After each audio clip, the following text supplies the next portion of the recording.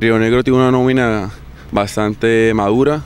eh, jugadores de, buen pie, de buena experiencia, el cual va a dificultar mucho el juego a nosotros. Lo más importante va a ser eh, mantener la pelota, pienso que tenemos que tratar de hacer nuestro juego, venimos bien, la verdad que venimos con,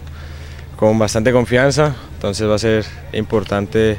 mantener la pelota para no dejarlos hacer el juego que a ellos les gusta hacer.